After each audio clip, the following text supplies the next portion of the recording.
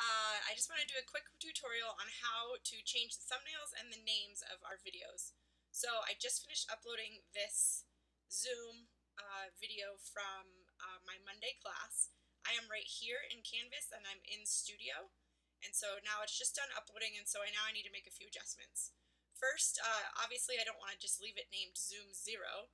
So I'm going to click on this video and under Details, I'm going to edit the details. And this was um, our class from Monday. So Monday, March 31st. And this was my MATP 631 class. Um, and so that's just what I'm going to save it as so that it's easy for me to find. Um, then I'm going to go back to my studio. And so now we've changed that. But I still don't like what this thumbnail looks like. So I can change the thumbnail right here by hitting replace thumbnail. Now, it just drops this box and I can pick whatever I want. But I usually like to make it something cute or something that makes it easier to find for my students, as you can see over here.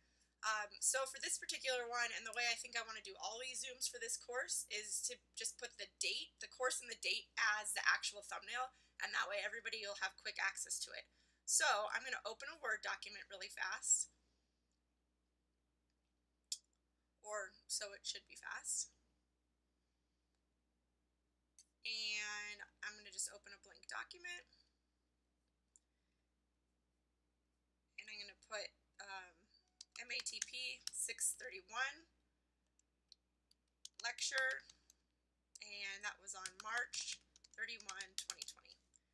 Um, so then I'm going to make find a cool font that I like. Um, maybe this one. Sure, that looks good and maybe make it a little bit bigger. And I think I also want to center it.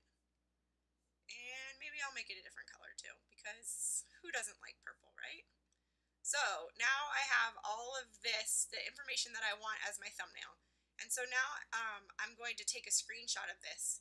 So first I'm going to move my cursor out of the way, and then for my computer, it's Command Shift 4, and that'll give me these this bullseye looking thing and I just outline what I want. And it took an automatic picture of it and it saves it on my desktop. So now I'm going to come back to my, um, my Zoom. I'm going to say replace thumbnail. And now remember how I just took that screenshot? Well, here it is on my desktop because that's where my computer automatically saves it. I'm going to hit open take a minute, and there we go. All done. Hope this helped.